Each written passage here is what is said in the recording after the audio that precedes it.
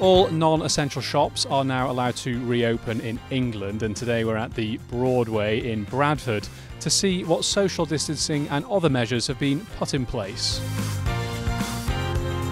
April and May was very much a period of sort of challenge for us of looking at every specific area in the shopping centre because you know shopping centres are set up for the complete opposite of social distancing.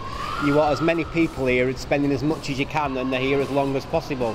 So we have had to do a lot of work of physically looking at every area in the shopping centre and you know even studying the food court where we're out you see all the markings on the floor and everything that's set up for queuing. So you know the last two months have been particularly challenging on looking at every area and how we actually need to move forward. But you know as we've kind of pulled the shopping centre together over the last two or three weeks and got all the signage in place and the protocols in place we're in a really strong position as we've come into this morning all the retailers have had to put their own sort of risk assessments in place and their own messaging about how many people they can have in the units. We've had to look at queue bubbles outside units. So, I mean, it's interesting this morning because you don't really know how it's going to go till you reopen. It's like opening a new shopping centre again because we really don't know whether the protocols we've put in place are actually going to work. None of us have done this before. It's new to all of us.